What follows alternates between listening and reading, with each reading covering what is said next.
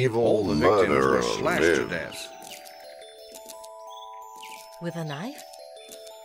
No, it sounds crazy, but it looks like they were killed with a giant pair of scissors. The giant scissors once again search for prey. A trail of terror stretches across Europe, from Norway to England.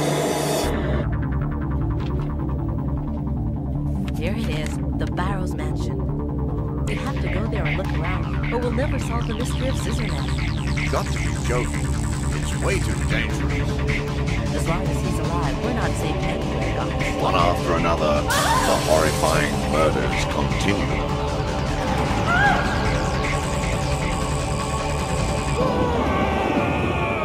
Will make it through this game of murder alive?